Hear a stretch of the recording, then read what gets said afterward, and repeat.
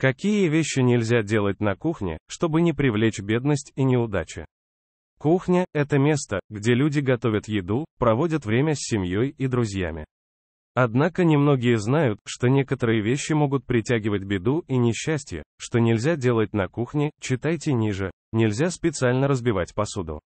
Многие знают, что, если разбивается посуда, это к счастью.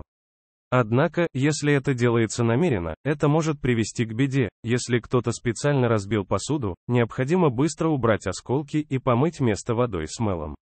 Осколки нужно собирать руками, кропотливо осматривая поверхность, пить из чашек других людей.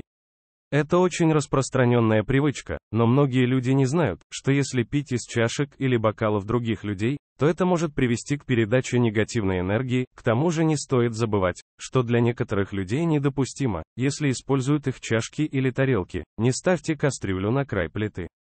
Существует примета, если поставить кастрюлю на край плиты, это может привести к несастью.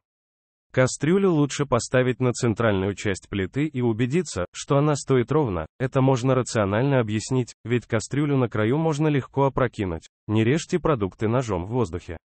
Такая привычка может привести к нежелательным последствиям. Следует использовать разделочную доску и стабильную поверхность для нарезки продуктов. Не ешьте стоя или на ходу. Существует мнение, если есть наспех или на ходу, то это может привести к проблемам.